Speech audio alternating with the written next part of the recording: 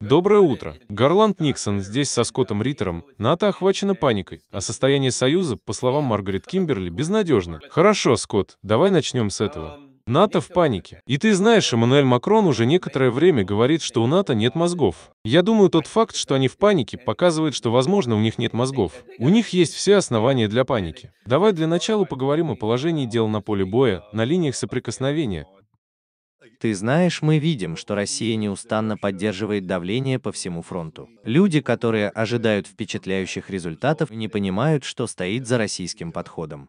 Российский подход по-прежнему основан на идее ведения войны на истощение. И лучший способ сделать это либо сидеть и позволять украинцам атаковать, что украинцы какое-то время были склонны делать, либо когда украинцы выбьются из сил, начать медленное наступление. Неустанное наступление, захват одной деревни, одной линии деревьев за раз, и в процессе этого убивают, берут в плен, ранят или обезвреживают находящихся там украинцев. Война на истощение. Русские не склонны перегибать палку. Это очень контролируемая операция после битвы за Авивку, которая была своего рода стержнем украинской серии укреплений, которые были укреплены в Донецке, Донецкой области или Донецкой Народной Республике. Теперь, когда она прорвана, русские продвинулись вперед к Орловке. И при этом они прорвали эту линию, что означает, что у них есть свобода двигаться влево и вправо и сворачивать, что они начинают делать на севере и на юге. Украинцы, чтобы предотвратить это, бросают в бой свои последние организованные резервы. А вот здесь мы сейчас видим один танк «Абрамс». Я думаю, что из 31 танка уничтожено 4. Несколько Брэдли. Это, как ты знаешь, 47-я механизированная бригада. Это лучшие украинские резервы. Их бросают в бой и русские более чем счастливы уничтожить их. И это одна из причин, почему НАТО в панике, потому что НАТО понимает, что вот-вот произойдет. То, что вот-вот произойдет, это то, о чем мы с тобой говорили, что мы приближаемся к точке коллапса. Когда резервы заканчиваются, когда у вас нет сил для контратаки, когда ваша оборона истощена и настолько слаба, когда у вас нет подкрепления, вам придется сделать что-то очень драматичное, если вы Украина, чтобы сохранить хоть какую-то боевую сплоченность. И это, вероятно, будет очень стремительный отход за реку Днепр. И ты видишь, например, как Уильям Бернс, директор ЦРУ, предупреждает людей. Он сказал, что русские находятся на пороге очень серьезных успехов. Украина готова потерять целую кучу территорий. Потому что, когда у вас заканчиваются войска, вы не можете защищаться на фронте. Вам придется отступить и использовать географические особенности, такие как реки. Это вот-вот произойдет. И когда это произойдет, вы знаете, проблема с катастрофическими отступлениями заключается в том, что они не поддаются контролю. Вот что случилось с французской армией после того, как они начали отступать. Из Москвы после Смоленской битвы они просто рухнули, полное отступление, никакой организации, никакой сплоченности, казаки бегают среди вас, пронзают копьями. Вы, ребята, убегаете, замораживая смерть и дезинтегрируя французскую армию. Украинские военные вполне возможно приближаются к такому состоянию. Вот почему Эммануэль Макрон говорит, что мы должны что-то предпринять. Мы должны направить войска в Украину, чтобы создать линию сопротивления в Одессе, потому что он знает, что вот-вот произойдет. Возможно, им удастся отступить, сохранить как можно больше боевой мощи, отступить за Днепр, занять подготовленные оборонительные позиции. Но Бернс не верит, что это произойдет. Макрон не верит, что это произойдет потому что они держат руку на пульсе. Они поддерживают контакты с этими парнями ежедневно. Они в операционных центрах. Именно они предоставляют информацию, дают советы, и они получают обратную связь. И эта обратная связь безрадостна, безрадостна, безрадостна. Так что я думаю, что знаешь то, что мы видим на поле боя. Коллапс – это процесс, когда последний предел прочности на растяжение падает, и оно просто взрывается. Многое зависит от человеческого духа. Если ты посмотришь на Сталинградскую битву, на битву за дом Павлова, ты знаешь, что горстка русских солдат на этой позиции сдерживала немецкое наступление. Забудь о 58 днях. Это был долгий срок. Но суть в том, что мы не знаем, что собираются делать украинцы, будут ли они призывать к этому, или же люди, которые должны быть в состоянии встать и сражаться. Внезапно просто потеряют самообладание, убегут, потому что они потеряли волю к борьбе. Даже несмотря на то, что физически они способны сражаться. Мы не можем этого предсказать. Война очень сильно влияет на человеческий дух. Но тот факт, что мы говорим о человеческом духе, означает, что мы в отчаянии, потому что обычно война — это не просто войны, а системы, процессы, организации. Мы подошли к тому моменту, когда украинцы полагаются на героизм, чтобы спасти положение, и пули каждый раз побеждают героизм. Каждый скажет тебе, что если ты находишься в окопе рядом с героем, убирайся к черту, потому что добром это не кончится. Ну, знаешь, одна из вещей, которую сказал Макрон, заключается в том, что у нас могут быть какие-то красные линии, Киев и Одесса. И я думаю, знаешь, вот что я чувствую. Мне всегда нравится использовать Майка Тайсона, потому что, знаешь, недавно я побывал у Майка Тайсона, которому уже за 50, и я посмотрел несколько его шоу на YouTube. И он все еще очень чудовище. Ты понимаешь, что я имею в виду? Я мог бы нарисовать все красные линии, какие захочу. Когда он начнет раскачиваться, я буду как на воздушной подушке. Вот так просто. И, скорее всего, меня уже не будет в живых, когда я ударюсь о землю, верно? Итак, у нас есть Макрон, которому дали красные линии.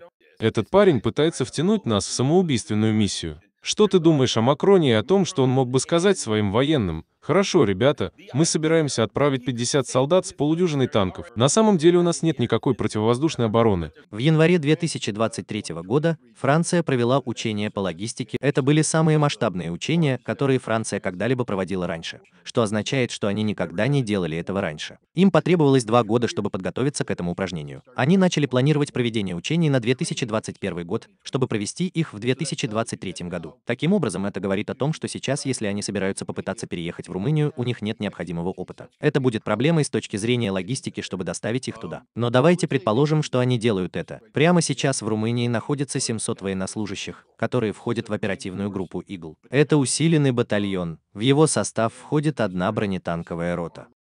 Это 13 танков, дамы и господа, всего 13 танков. Это острие копья для французов. Прямо сейчас Франция располагает четырьмя истребителями «Рафаль», дислоцированными в Румынии. Это, как правило, предел их возможностей. Поэтому они ищут бойцов в Румынии. Цель операции – обеспечить французским войскам, находящимся там, прикрытие с воздуха, чтобы русские не могли атаковать их из-за истребителей. Теперь они усилены истребителями F-16 и другими из других стран потому что это совместные усилия, но 4 — это усилия Франции. Чтобы защитить их, они развернули ракеты класса «Земля», «Воздух», «Крута» и «Мамба».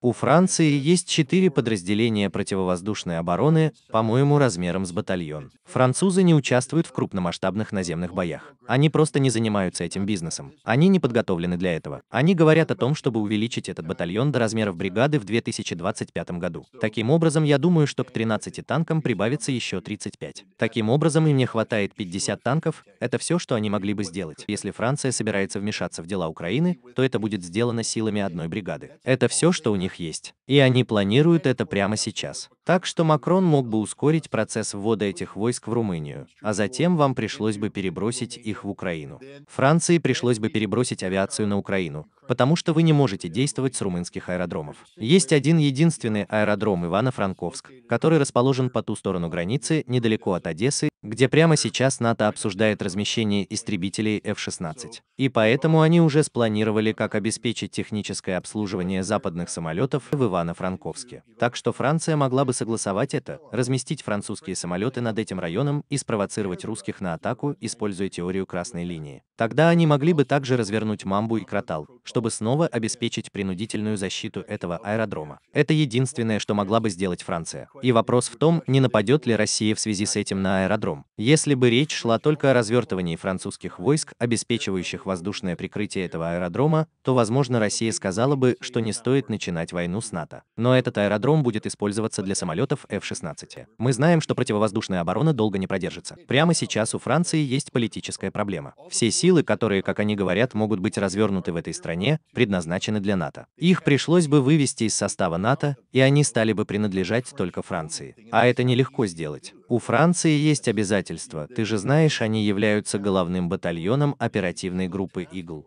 И таким образом вы лишаете НАТО возможности направить их в Украину. И я мог бы говорить об этом весь день напролет. Как я уже сказал, я изучил это дело до последней пули и последнего штыка. Лучшее, что могла бы сделать Франция, создать единую бригаду, способную иметь подразделения размером с батальон из разных стран. Скажем, страны Балтии, поскольку они подняли шум по этому поводу, присоединяются к нам. Но подготовка стран Балтии к экспедиционному развертыванию и сотрудничество с французами могут все усложнить. Общая численность этих войск составила бы около 10 тысяч солдат, и они были бы мертвы в течение нескольких дней. У них нет возможности вести современную войну. У них нет фактора выживаемости. У них вообще ничего нет. Потому что имея в виду, что они собираются не укреплять существующую украинскую оборону, а дополнить возможности Украины, создав линию, которая освободит украинские войска для выхода на линию фронта. Идея заключается в том, чтобы не дать французам вступить в контакт с русскими, удерживая тыловую зону, которая освободит украинские силы для продвижения вперед. Эти украинские силы не доберутся до линии фронта. Если они это сделают, то погибнут. А затем, как ты знаешь, русские постучат по французской линии, но там не будет французской линии, потому что Россия собирается взорвать ее заранее. И что тогда делает НАТО, когда ты смотришь на 10 тысяч убитых французских солдат, 50 уничтоженных танков Леклерк? А у вас там в Румынии сидят целые силы НАТО, частью которых были французы, и смотрят, как умирают их братья по оружию, потому что именно это и произойдет. Но если ты заметил, Шульц, канцлер Германии, только что созвал экстренный саммит. И я думаю, что Шульц собирает его вместе, говоря, ребята, это не тот путь, потому что мы не можем, мы не можем вас поддержать. У вас не будет поддержки НАТО. Германия не пойдет по этому пути. И если вы сделаете это, то будете предоставлены сами себе. Польша надеялась, что Америка направит дополнительные силы в Польшу, чтобы усилить их, чтобы они могли проявить смелость и продвинуться вперед в Западную Украину. Америка сказала нет, мы не собираемся этого делать. А это значит, что Польша сама по себе, а это значит, что поляки знают, что они умрут. Так что я думаю, именно в этом мы сейчас и находимся. В каком-то смысле мне было жаль Макрона, потому что Соединенные Штаты бросили его на произвол судьбы. Ты знаешь, Виктория Наланд и другие сказали ему, чтобы он агрессивно продвигался вперед. И он сделал то, на что Франция не способна. А теперь он дал слово, что будет поддерживать украинцев до конца. Этого слова он бы не сказал, если бы Соединенные Штаты не сказали, что мы будем с вами до самого конца. Ты знаешь, Макрон никогда не ожидал, что ему придется делать это в одиночку, или что Европа будет действовать в одиночку. И все же Соединенные Штаты бросили его, оставили там. И он, знаете ли, чтобы показать свое лицо, начал что-то говорить и опередил события. Настолько опередил, что, как вы правильно заметили, французские офицеры предоставляют некоторые документы французским изданиям. Но я думаю, что в конце концов Макрон не сможет этого сделать. Потому что невозможно изменить ситуацию, заставив Францию сделать что-то, что закончится полным унижением французских военных на Украине от рук русских. И возникает вопрос, можем ли мы выйти из этой ситуации без унижения? В тот день, когда мы вступили в эту ситуацию, потому что здесь заложен фундамент. Но чтобы воевать с Россией, нужно подойти к российской границе, потому что Россия не собирается ни с кем связываться. Сражаться с ними всегда равносильно самоубийству.